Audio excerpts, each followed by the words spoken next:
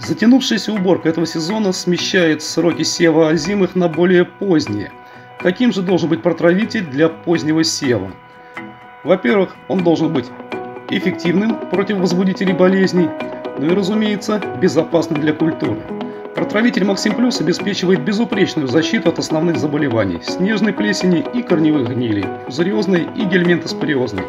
Максим Плюс не обладает ретардантным эффектом, поэтому позволяет сформировать здоровые мощные растения еще с осени, даже в условиях позднего сева.